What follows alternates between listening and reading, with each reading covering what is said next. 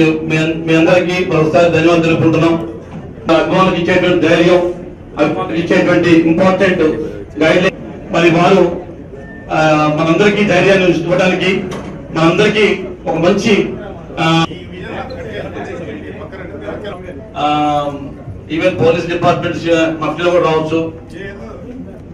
ఎవరన్నా ఉన్న డిపార్ట్మెంట్ ఉందండి ప్లీజ్. కూర్చోండి కూర్చో నా పక్కన కూర్చోండి ఉన్నారు ఎవరు ఉన్నారు? విన్నాను ఉన్నారండి. రండి సార్ ప్లీజ్ మొగం దాచుకోరు. రండి రండి. అది నా పక్కన కూర్చోండి మీ గౌరవంగానే మాట్లాడతాం. డిపార్ట్మెంట్ గౌరవం మా నాన్న పోలీస్ డిపార్ట్మెంట్ రండి. ఉన్నారా? ఓకే. నాగో అన్నయ్య గారు ఇక్కడికి ఇచ్చేసినటువంటి అభిమానులు కార్యకర్త ఉద్దేశం మాట్లాడతారు వీరాసర్ బాబు అందరూ జనతా గారికి తీస్తున్నారు. ఓవర్ ప్లే లేదు.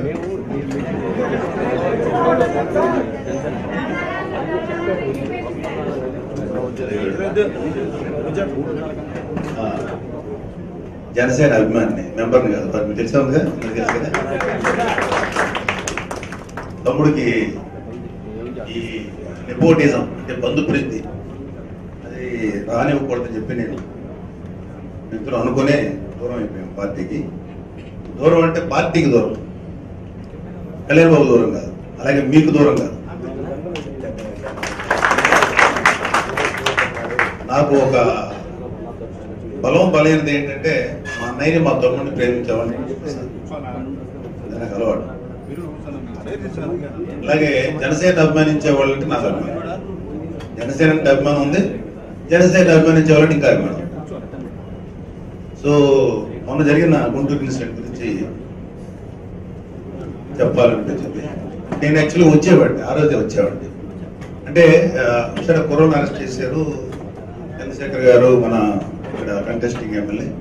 ఆయన మిగతా ఫ్యాన్స్ దాదాపు ఒక నాలుగైదు వందల మంది ఒక వెయ్యి మంది దాకా వెళ్ళి అల్లరి చేశారు. బాగా గట్టిగా బయట చేశారు. సో వదిలేశారు.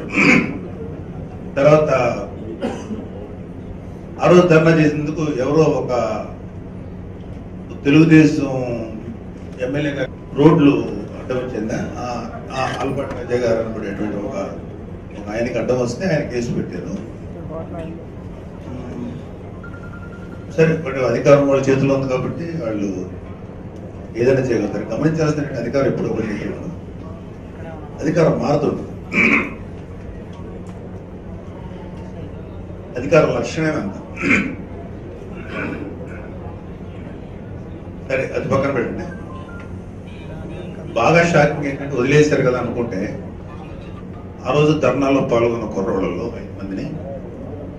ఆ వీళ్ళ పేరు చదువు? చదువుకున్న వాళ్ళు ఒకళ్ళేమో డెంటిస్టు ఒకళ్ళు బాగా చదువుకున్న విద్యావంతులైన కుర్రాళ్ళు. వీళ్ళు విగ్రహాలు ఏవో పాల్గొంటారు అనుమానం మీద క్వశ్చన్ చేయడం కూడా తప్పదు ఎందుకంటే మనం ఎప్పుడు కూడా లా అబైడింగ్ సిటిజన్స్ చట్టాన్ని న్యాయాన్ని రాజ్యాంగాన్ని గౌరవించేవాడు ఎవరు చట్టానికి న్యాయాన్ని ఈ వీడియోపై మీ విలువైన కామెంట్స్ని మాతో షేర్ చేసుకోండి. అండ్ ఇంకో విషయం సబ్స్క్రైబ్ చేయడం మర్చిపోకండి.